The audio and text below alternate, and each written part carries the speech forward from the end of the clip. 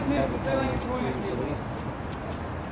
Reasonable accommodations they ask for. People need to get home to their families, they say. There's a lot of people that need to go home to their families in this building. I know. We're gonna start talking about different ways to get here. uh, what about you? Um, yeah, well, I think there a lot was contingent on their so How do you guys live with yourselves?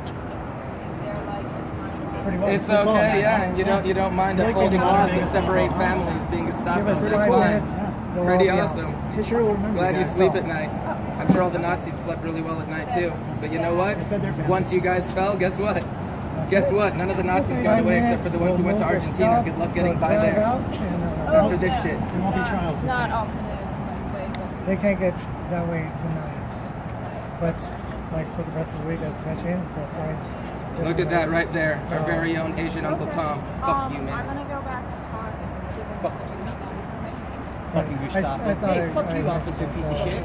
You? Oh yeah, Going now out. that How about yourself, piece of shit? Sorry, I didn't. Oh, but now that we have the information, He took the Blue Lives Matter patch off because I pointed I, it I, I see that. Oh, where's your blue light matter patch? So right Take it now, off. they're trying to negotiate. You know they don't matter, They say right? that the office, the officers Your life inside doesn't matter. Go home to their families. You're a piece While of they're shit. keeping families apart, there. they're asking to go home to their families. Imagine the irony in that. Apparently, they think they're more special than everyone else, and they should be allowed to go home to their families while no one else does.